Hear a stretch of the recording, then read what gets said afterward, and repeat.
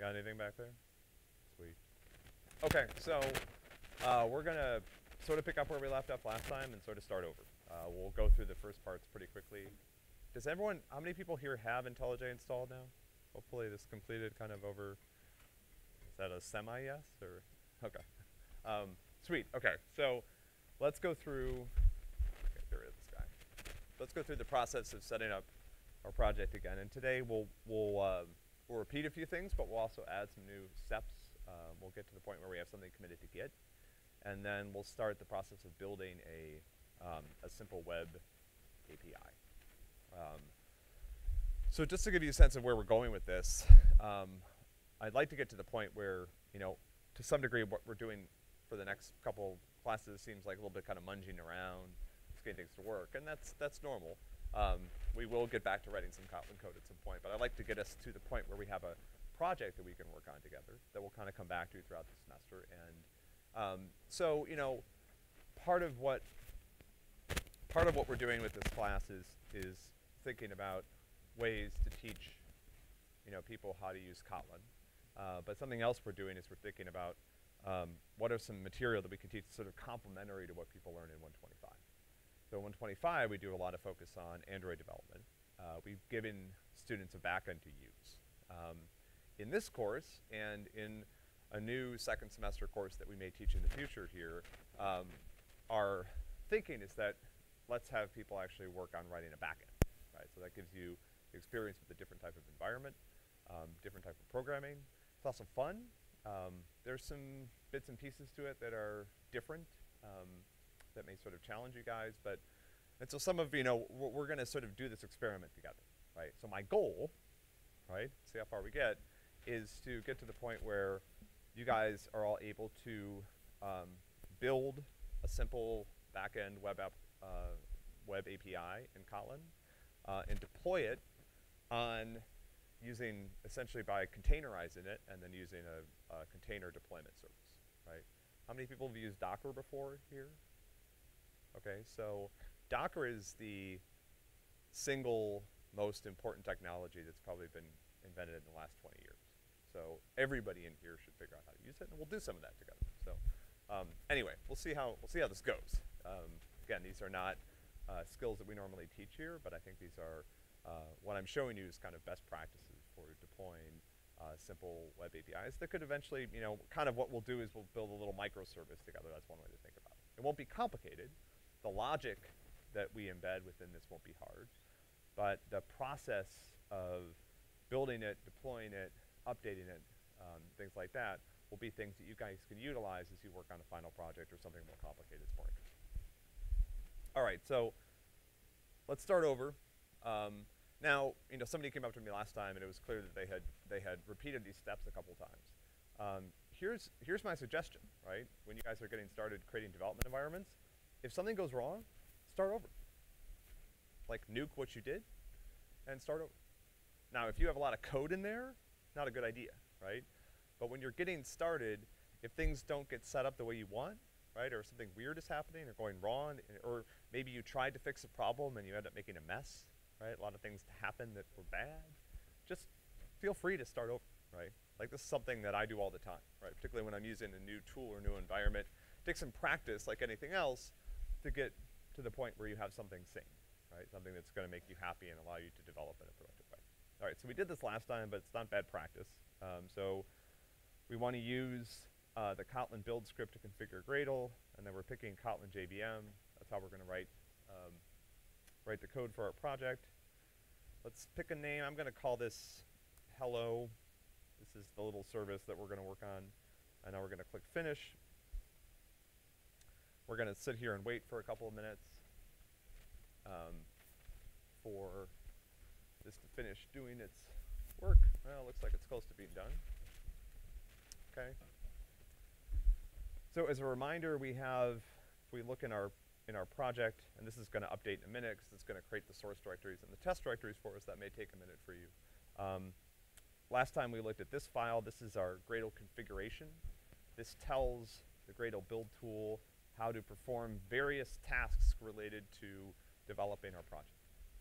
Right? This is tells it how to how to build the project, what libraries we're using, uh, where to get those libraries, and then various configuration associated with certain things that we might want to do, like in this case, you know, telling it when we compile Kotlin, uh, which version of the bytecode to use.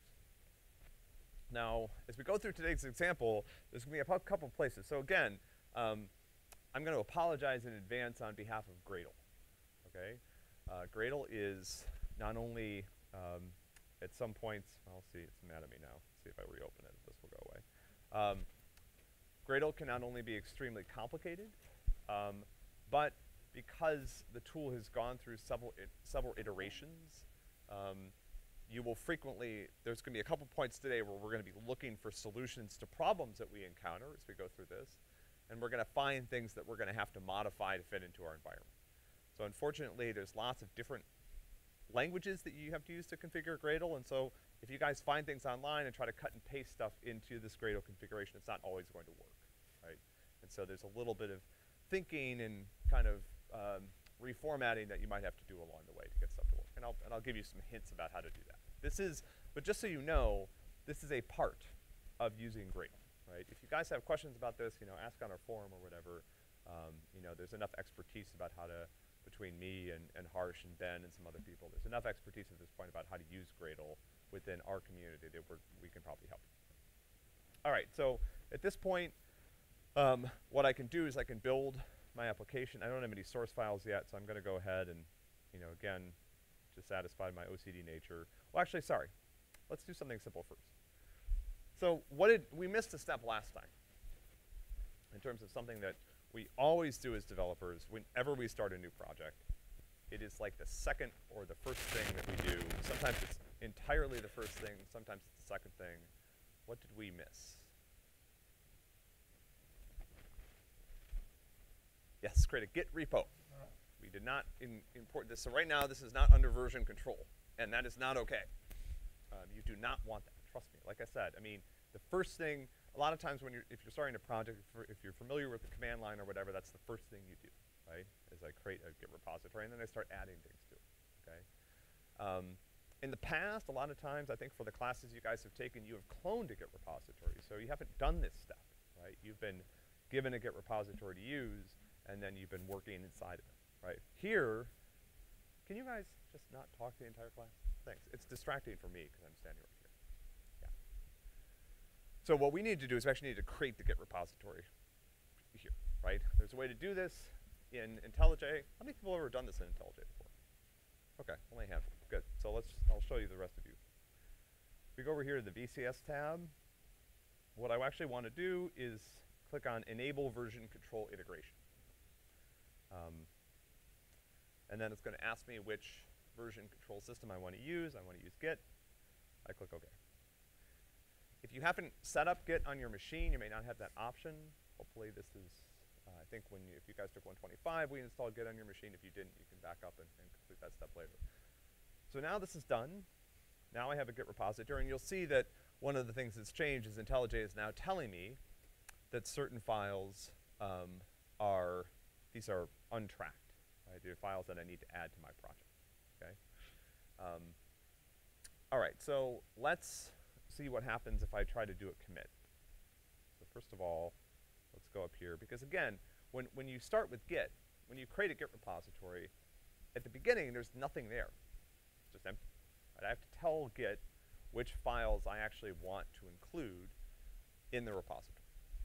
And then I need to tell Git which files I don't want to include. Right? So if I go over and I, and I initialize the commit dialog, let's see what's actually changed, okay?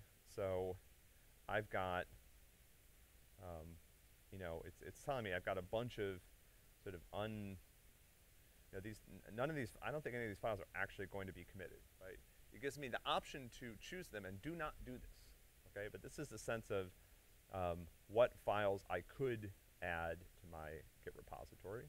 And again, please don't click on them and actually add them, right? because these, many of these things are things that we don't. All right, so one of the, and again, I suspect many of you guys have never done this before. So when, whenever you're using Git, it's as important to tell Git about things that you don't want to include in your repository as it is to tell it about things that you do want to include.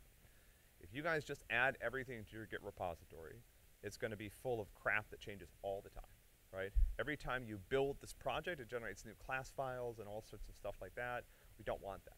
Every time Gradle downloads repository, uh, uh, new files, it sticks them in this hidden directory in there, and we don't want that either, okay? Anyone know how to fix this problem? Yeah, so there's a special file that's called .gitignore, and we're to create that in this directory. So I'm to create a new file in the root directory in my project. I'm going to call it gitignore. And I'm to say, now, now this time I'm actually to say I want to add this. This is actually like a really brilliant feature of Git. So in Git, the gitignore file tells Git which files you'd want to ignore. It's just another file. It just lives in the repository like any other file. Right? So there's nothing special about it, uh, except the format of it, which we'll look at in a minute there's actually already a gitignore file in my repository. It's over here in the .idea directory.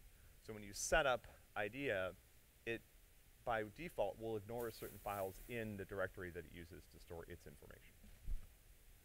Okay, so now here, you know, um, I want to I, want to do a, a brief, and unfortunately, IDEA doesn't present this information very well for us. So bear with me here. Um, so open up the terminal in your, and run the following command. Okay. People that took 225, you guys use this as 225? Has anyone ever run git status before? All the time. There we go. See, that's, that's what I like to hear. So this is, like if you use git from the command line, this is probably one of the most common git commands to use. This tells you the status of the repository. All right, so let's look at the output from this because there's really, unfortunately, this is actually much more useful than looking at anything IntelliJ is going to tell us. This tells me the branch I'm on. I haven't committed anything yet. So, so far there are no commits in this repository. It tells me changes that are going to be committed. Now in Git, there's a one-time process of adding a file. Once you tell Git to track a file, it'll always track changes to that file. But until you tell Git to track a file, it will not. So what Git is saying down here is that these files are untracked. If I do a commit right now, the only information that's going to be saved in this repository is about this .gitignore file. Now down here, you'll see that I've got like, you know, a, a bunch of different things. I've got these Gradle configuration files, um, and then I have some of these hidden directories, right? Now some of this, so here's the thing, and actually let me, let's add a source file. Well, you know what? We'll do that in a minute. Okay. So here's the thing. Some of these files are things that I want, and some are not. And so what I want to be able to do is I want to tell Git that there are certain files here that I do not want it to ever? And why I do this is by using a file called gitignore. You can put your gitignore file anywhere, but the paths in gitignore relative to wherever that file is. All right, so let's, let's see an example of this. The files in the .gradle directory, these are, so on, on you know, Unix systems, dot directories are hidden. These are designed to store hidden information. So Gradle is storing some stuff in here, and I think what Gradle uses this for is this like when it downloads jar files and libraries and stuff like that, it puts a bunch of stuff in here. But this directory should never be checked into version control, okay? So we want to tell Git that I want to ignore this. The way I can do is I put on the first line of my git ignore file dot Gradle. Okay, now when I rerun git status, you'll see that the dot Gradle directory is no longer included in this list. Because I've told Git, ignore that directory. Never ever check anything in this. Okay? Now every, so, and this is something you do when you set up a project, right? I have a long list of git ignores that we could add, but we're gonna do this a little bit more incremental, right? So you sort of go through this and you say, okay, let, us go now file by file, let's think about, do we want this, right? Um, so the .idea directory so this is, this is actually information that we can commit. This is an idea configuration. So if you give this to another person and let them use it, and they clone it, and they're using IntelliJ as their editor, this will mean that they'll get all the configuration that you've set up for the project in IntelliJ, which is actually really nice. We want that. Right, so we're going to leave that alone. What about our Gradle configuration? Do we think that this should be in the repository? Is this a file that we want to track changes? Absolutely. It's like one of the most important files in the entire repository. This tells, you know, someone else exactly what dependencies we're using, how to build the project. So this file we want to keep. Gradle.properties turns out to be a file that's important to Gradle. We're going to leave that alone. Um, these two things are the Gradle um, wrapper. This is actually how you run Gradle. So for example, if I wanted to run Gradle from the command line, I could do Gradle wrapper and then I could run like tasks. This will actually work after Gradle thinks for a while because it's depressingly slow. Yeah, there you go. And that Gradle has told us all the different tasks that we can run. Um, and so again, if you like working from the command line, Gradle is actually a tool that you can use from the command line quite easily. Um, I'm going to be using it from the IDE most of the time, but when I'm developing, I usually will use it from the command line rather than the IDE. Okay, so let's run git status again. See how we're doing. Okay, so this stuff we want to keep, these files we want to keep. What's in this directory? Let's try to figure that out. So if we run git status dash u, it'll print off all the files that um, it's that are currently untracked. And so you can see a bunch of them are inside that IDEA directory, and then there's also a couple in this Gradle directory. And these turn out to be things that we want, right? This stores information about which version of Gradle we're using. This is actually something we're gonna have to change in a minute. All right, so the rest of this I think is okay. So, so now, again, if I go back and I do my, let's go back to VCS. Let's actually do git add. So remember, this is a one-time step that we use to tell Git that I want to track a file. All the files that are marked in red here are untracked. So let's add them. So go up and you need to select the root of the project, and then we're going to go to the VCS window, Git, and hit add. Up, nope, nope, nope, stop. Sorry. I should look at my screen, up there. Uh, VCS, Git, add. And now what happened? So now all of these files are green except for which one? Workspace, why? Because that file's ignored. Remember, if I look in the git ignored that's inside this directory, it says to ignore workspace.xml. So that file's ignored. Let's go back to the terminal again. Again, I hate, I hate doing this. I really promise people to try to avoid the terminal because it tends to scare people. But um, if I run git status again, now you'll see that the next time I do a commit, I've got, these are the files that are going to be included in the commit. So I've got the stuff in the idea directory I want. I've got the build.gradle and the Gradle properties and all the stuff that's inside Gradle's unhidden directory. I've got the Gradle wrapper and Gradle wrapper.bat, which is for Windows, and I've got my Gradle settings file, and this is all good. That's all stuff I want.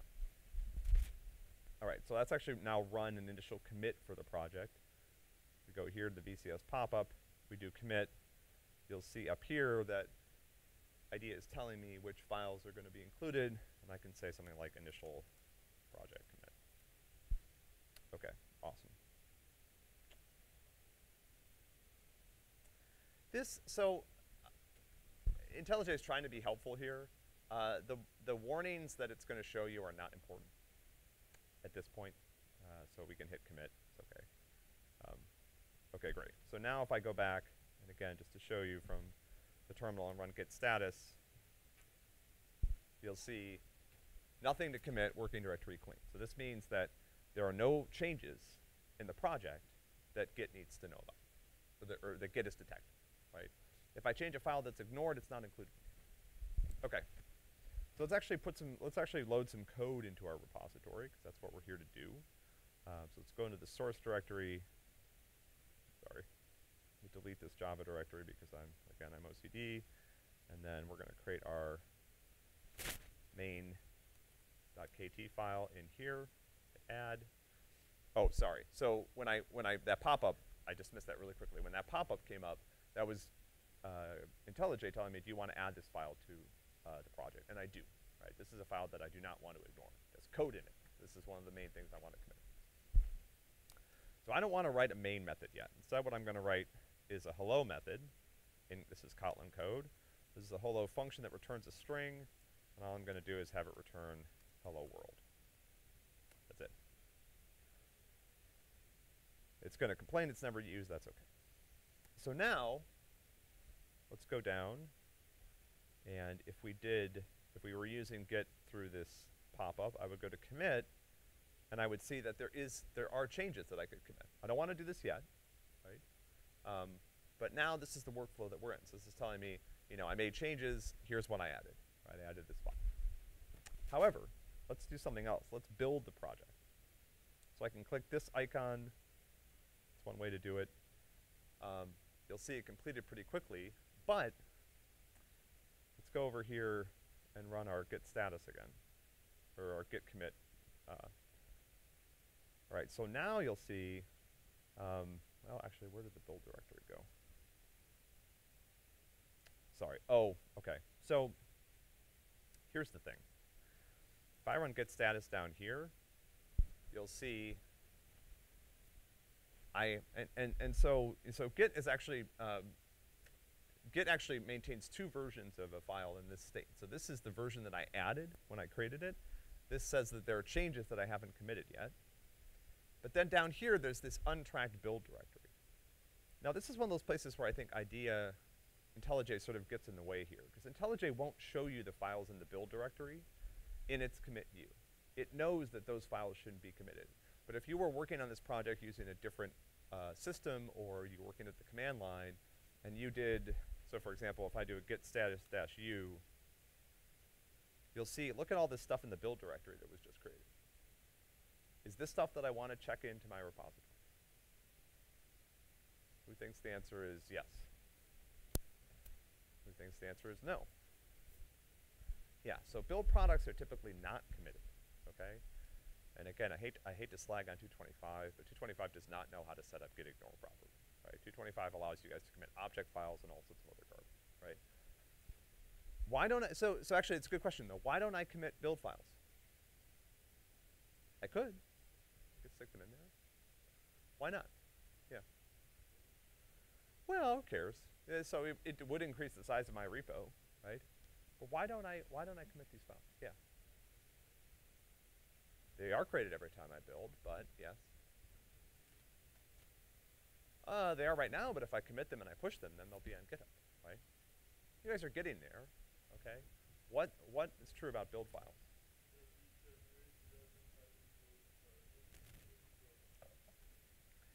Yeah, so I, I, don't. I think you guys are saying the right thing, but I'm not sure you understand why it's right. Right. So the build files are created from the source files. The build files are a product. I don't need the build files if I have the source files because I know how to recreate them. So if you give me the source and you give me Gradle and your configuration, I can recreate the same build files. So I don't need to, these are some, again, what something we call build products. They don't need to be checked in because they can be created from the source files in my directory and the configuration. Okay, so again, let's go back to my git ignore file, and I'm going to stick a new directory in here. This is, this is build. So if I end this with a slash, this means Gradle will ignore the build directory. And you'll notice that I didn't start it with a slash. Gradle will now ignore any directory called build in the project. So even if it's source build or source main build, it doesn't matter.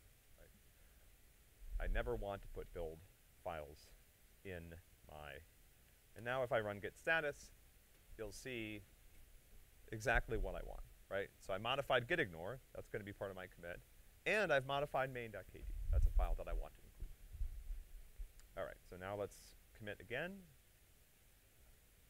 There is really no rule about how often to commit.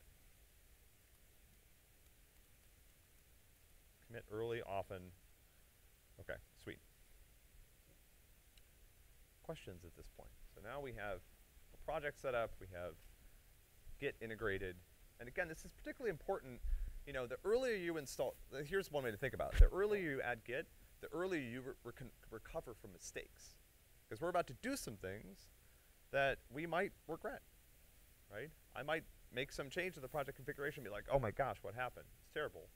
Once I have Git, I can always walk back to one of my previous commits and get out of the problem, right? It's not necessarily trivial to do, but it's possible if you have Git. You can also figure out what happened. Okay, so let's go back. So last time, you guys remember, we installed some testing, and we installed this library called Kotlin test. We're going to do that again quickly, and then we're going to write a test case for our hello world function. All right, so down here, this was the bit that we needed to grab for our build.gradle file. So this says that when I am testing my code, I have a dependency on Kotlin test, which is the library that we're going to use for testing. There are many other choices. This is the one that we're going to use. And then also, this configures testing tasks to use a JUnit platform, which means that my test will run. When you change build.gradle, IDEA will remind you that you should import it again, which you can do.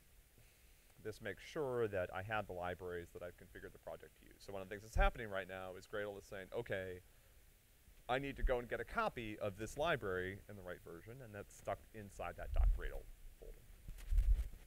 All right, so now we're going to actually write a test, um, and the testing style that we're going to use here is the simplest one, which is this string spec style. So the string spec allows us to provide a string that describes the test, and then an anonymous function or a closure that runs the actual we're going to use this to write a test against our, our hello function. We're going to put that in the testing directory after I delete Java. I'm going to create a file called test main. I do want to add this to my project. I'm going to go back up here. I'm going to look at how this looks. So I need to create a new class. We'll talk about more about classes in Kotlin next week. But you might notice that this looks, what does it look like I'm doing here? Anybody want to take a guess? Yeah, David? What about the first line, though? What about line three?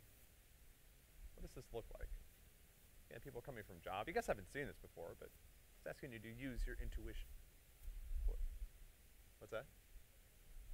Yeah, there, there is there is a lambda expression here right?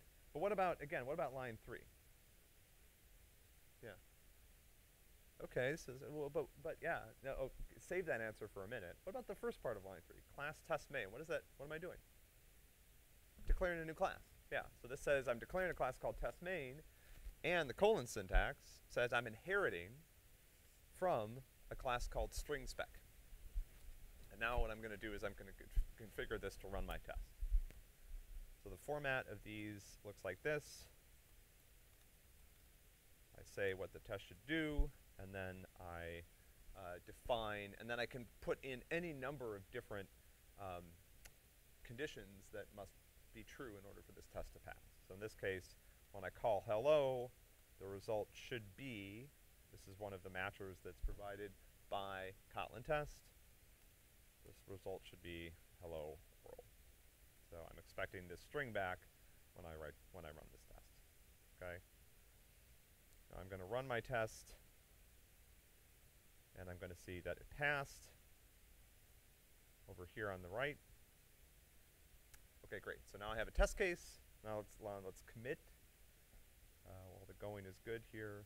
So go back to my commit dialog. You'll see that there's one file selected, which is the testing main function added a test. Okay, so last time somebody po pointed out this scary warning down here, right? About something, blah, blah, blah, blah, blah, okay? Um, so who would like to suggest a strategy for getting rid of this? What's that? Scroll down. Okay, I'm at the bottom. Yeah. Google that shit. Yeah. I mean, you guys are laughing, but like this is actually what you do, right? Okay. Um, now, you know, there's there's clearly this is not a problem that's unique to us, um, but but there's one more piece of information that we need to really make this search better. So again, you could start reading these, and you might figure out what to do, right? But when did we start having this problem? Or testing, right? What library are we using for testing? It's called Kotlin test. So now, all I have to do is add this, and now, eh, you can see I've already been here today, um, rehearsing, right? So, so now, you know, this is the actual exact description of the error message that we're getting, right? Um, and, you know, look, let me just give you a time-saving tip when you find yourself on something like this. Scroll to the bottom, and then start working your way upwards. Um, okay, so, and this is relatively recent, so again, another thing when interpreting GitHub, like if you're not seeing something from the past couple of years, um, probably maybe move on. All right, so this says I can solve this by attaching this impl implementation in your tests, okay? And now, again, unfortunately, this is Gradle coming to bite us. I've got this, okay? So what am I going to do with this information? Who wants to try, who wants to, who has an idea of what to try?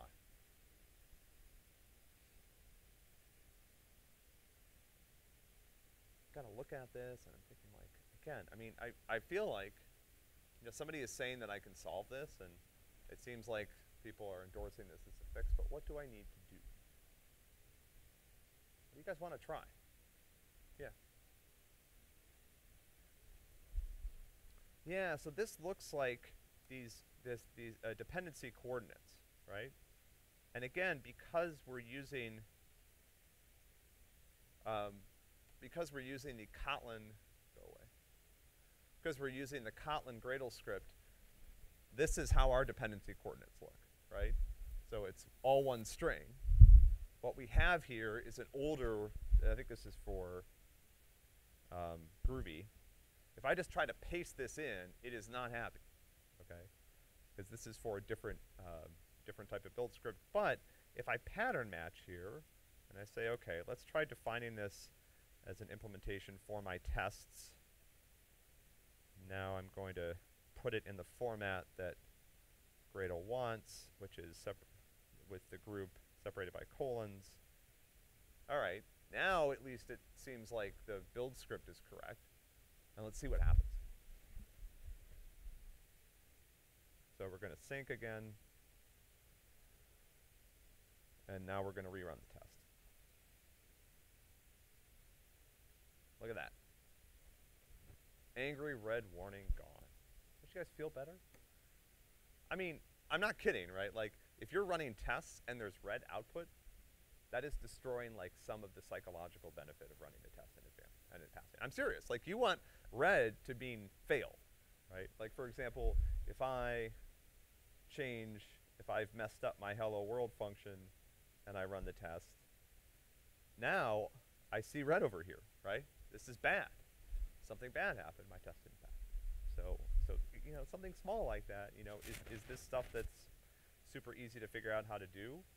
Not always. Requires a little hunting around. I mean, I've got a lot more practice than you have, you guys have, but, but it's worth it. Okay. Now, let's do let's do the next thing in terms of our project hygiene. This is going to be this is exciting actually. All right. First of all, let's just let's see if we have anything to commit here. I don't think we do. Um, oh no, we have to we have to we made this change to our build.gradle file, right? So we're going to say six logging error message. That's awesome. Okay, sweet. So now let's run our test suite. We see it passes, we feel good. All right. Next thing that we're going to uh, do is install a plugin for, Intelli for Gradle that's going to help us with formatting our source code. Right, so code style is, so, you know, some of you guys took 125 and complained because we use Checkstyle and you want to put braces in weird places and stuff like that, right? Here's the thing code style, code formatting is not something that you should have to think about. Okay? There is a right way, and then there are other ways. Um, and let's just do, let's just have things done in the right way. Now, here's the thing. If there is a right way, what should I be able to do? Let's say that we agree that there's a right way to write Kotlin code. What should I be able to create? There is one right way to write Kotlin code. Okay? Yeah.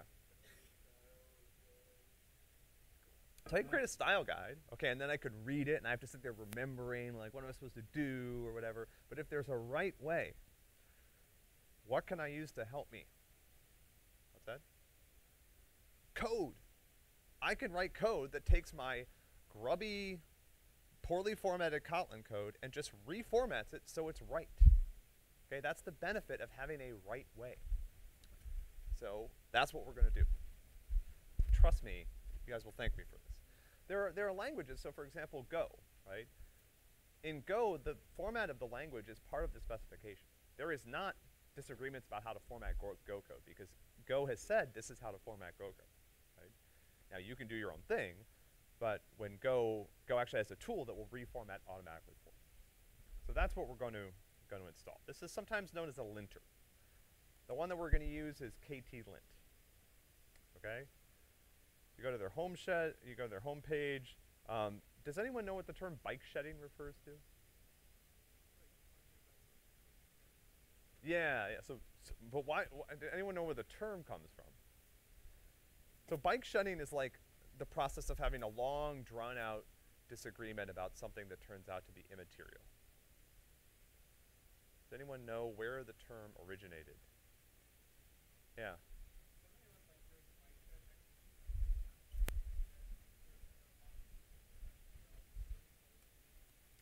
Yeah. So if we Google that shit, the act of wasting time on trivial details while important matters are inadequately attended to. Um, and yeah, here we go. So this is the, the law of triviality is the argument that members of an organization give, uh, where is the bike, there's a, there's a story behind this. What is bike shedding? Uh, I think it, this was in Cambridge, of course.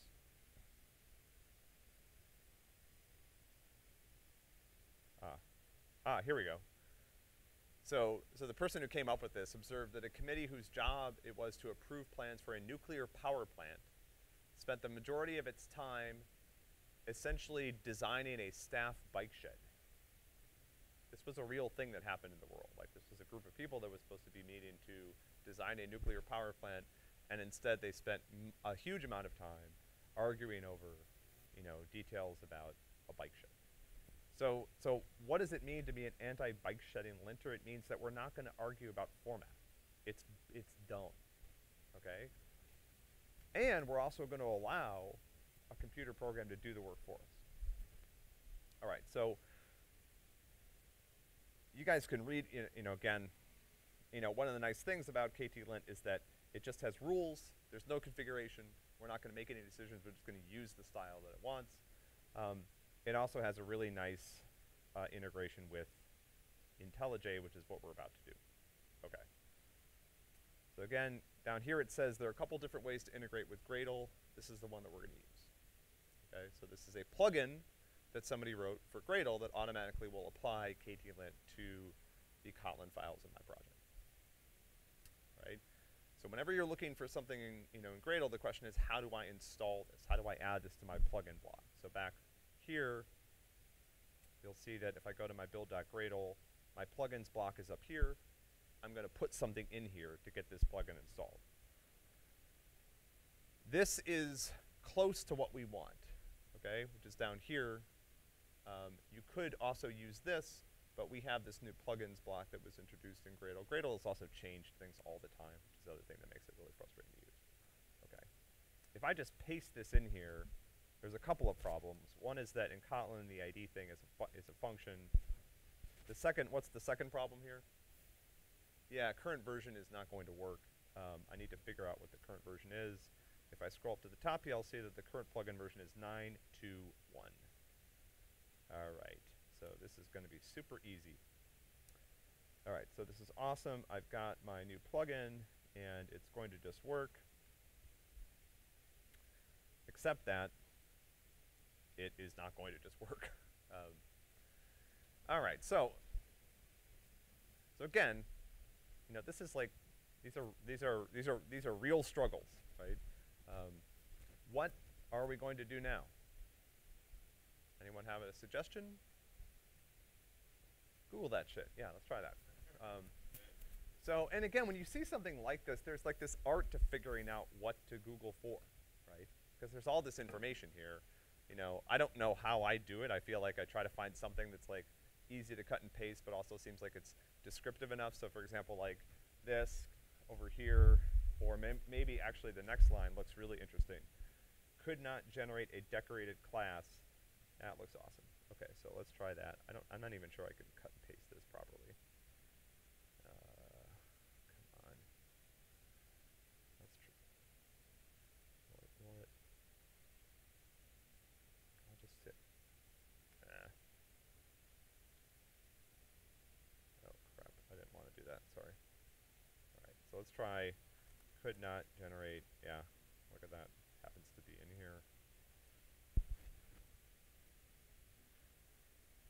And it looks like I found my way to the KT-Lint plugins error table. And what is the suggested resolution here? So someone else basically looks like it has the exact same problem. This was December of last year, pretty recent. What do they suggest the person do? Yeah. Update Gradle. So, so let's try to figure out if we need to do that. So if I go back to my project, unfortunately Gradle doesn't have just a single task you can use to figure out what the version is. But if I go down here back to my command line and I run Gradle w or Gradle w.bat, whatever, depending on what you're using, whether you're on Mac or Windows, you'll see that my Gradle version is 5.2.1. The Gradle version that's required to support this is 5.4.1. So I'm behind. Now, the next question is, how do I fix this? Right, so let's look in, so again, let's look in the Gradle directory. So there are two things in here. There's this Gradle wrapper.properties. And if I look at that, do you guys see the version number in here? It's a little hard to see, but it's there. So this is basically telling Gradle where to get the, the Gradle uh, jar from that contains all the code for this project. And it's telling it to use this version, Gradle 5.2.1. Now you guys can look this up if you want, but the current most up-to-date version of Gradle is 6.1.1. All right, so I've, I've fixed this, and let's try refreshing the project. Now this time it's going to take a little bit longer because Gradle actually has to restart. Um, so it's going to load the build, it's going to configure things. Let's close. Oh, I don't want you anymore. I'll put this up a little bit. Okay, and now it looks like everything's okay. I'm not having that failure I was having before. So I can run this again and everything's good. I've successfully upgraded Gradle. Let's go back to the terminal and run this command again. And you'll see that now I'm on Gradle 6.1. So let's see how this thing is going to help me. So now I've installed this plugin, and the question is like, what does it do? Um, how do I use it? Remember last time when we installed a plugin, we noticed that it added some tasks that I can run in my project. And you'll see here, there's a similar feature in that there are now formatting tasks that I can run. So let's look at one of these. KT-lint format. Let's try running this and see what happens.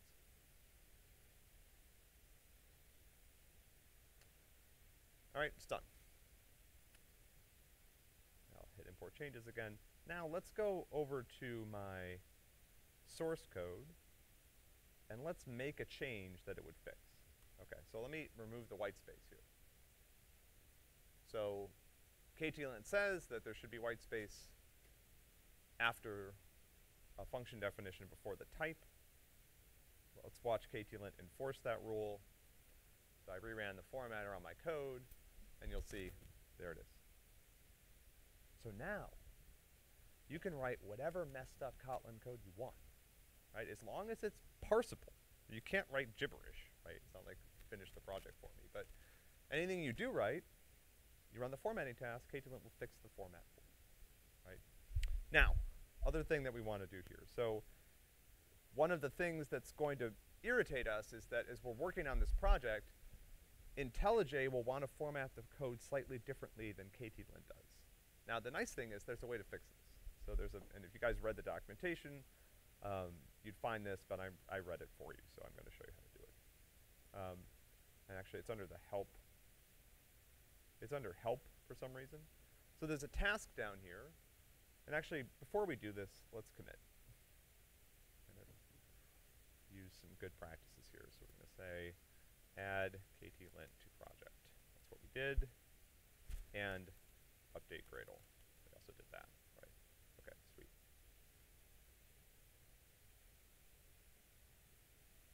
Yeah, these are the same things that we saw before, uh, and I'm just going to ignore them. Okay, cool. So now let's go over here. So there's this task now in the help section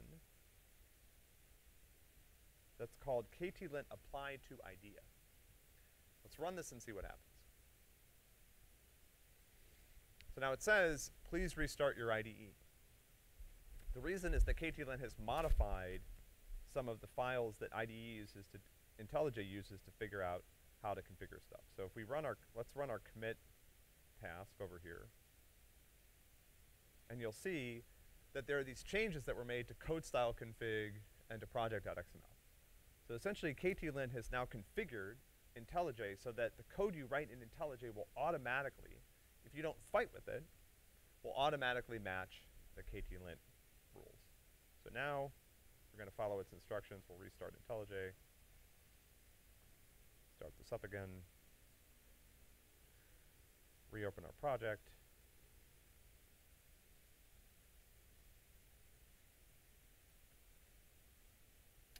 And we're good to go. So again, I mean, this, you know, this type of thing will save you a lot of trouble right? In the sense that now, you know, as you're working, you don't have to, A, if you don't fight with IntelliJ, it's going to format things for you properly. B, um, even if you have formatted things a little bit incorrectly, you have a way to just fix it, right? And this is something that, you know, when you work at a big company or whatever, um, this is to happen automatically for you, right? Anywhere you work that has the same development environment is to have rules about how the code looks that everybody is expected to follow. The nice thing about these rules is that if we're very strict about them, we can actually write a program to just generate things for us. All right, questions at this point? Yeah. I think Java might. I don't know. I don't know. It's a good question. Does Java have something? It probably does. I mean, every sort of sane language has a tool like this, right? Other questions? So that, that I'm, I'm tempted to go on, except that the next step is to, well, you know what? Let's go on. Know, this is wise. What time is it? I'm in a weird, weird place. All right, I think I'm going to wrap up for today. Uh, the next step is going to be in, to install the library that we're going to use to write our web API. This project that you just created, don't get rid of it, right? We're going to keep we're going to keep. I'll push a copy of this to GitHub. Actually, why don't we do that? Let's do that to finish up. So right now, one of the things that you guys may not realize about Git is that by default, when you create a new Git repository, it doesn't live in the cloud. It lives on your machine. So if I destroy this, it's gone. So Git will help you save your work. But if you only store the Git repository on your machine and you the machine dies, you accidentally delete that directory or whatever, it's toast. So what we want is we want to, to push our work to somewhere like GitHub, so that when we do that, GitHub will now have a copy of all the files associated with our project. Once we do that, even if we switch machines or a machine dies or we accidentally delete stuff, we have a copy that we've saved. All right, so let's go over here to the VCS tab. Um, and now let's go, I think it's under the Git. Uh, let's see. Okay, let's try share project on, let's try share project on GitHub. Okay, that's, uh, so now you're gonna need to, to provide your login and password.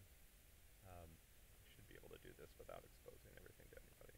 Oh, look at that. To copy password.